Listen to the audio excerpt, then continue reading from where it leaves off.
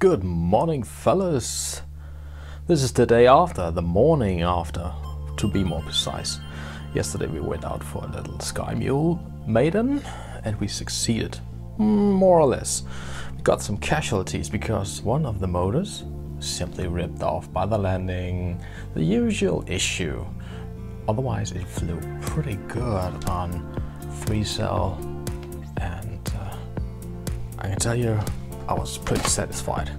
She's fast, that's what she is. We uh, uh, changed the props because the three blade props just broke. Um, so I took these 9 inch, 8 inch, and they were pretty good. I had her at 40% uh, thrust and she was speedy. Uh, so she came off here, the motor block came off. But that's not pr a problem of a problem, just make it a little more stable.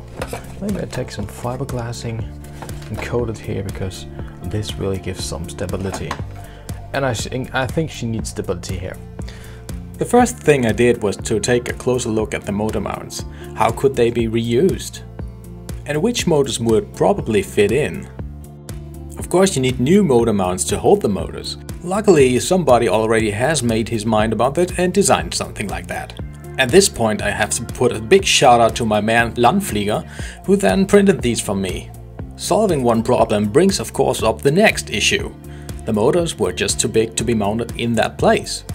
I ended up with just mounting the motors directly to the mount. The pre-designed holes for the screws didn't fit so I had to make new holes and just connect the motors there, Keep in mind, if you plan to do the holes, that the wires of the motors have to face downwards, otherwise you'll get trouble with space remaining in the nacelle. The final big quest in this game here is just to get the motors connected again. How the hell do we get the screws in? Yeah, from the little hole behind. And don't get me wrong, you dirty-minded little bastards. We're talking about planes, right? Fine. The rest of it all stays as a piece of cake. Reassemble the nacelles, do some fiberglassing, um, coloring, and there you go. After having glued them back on the wings again, it's time to put them to a test.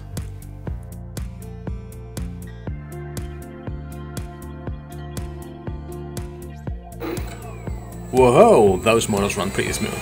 They consume 52 amps at max power, 3 cells. I'll put a link in the description so you'll find where I got it from. I guess it's time to remain the bird, don't you think?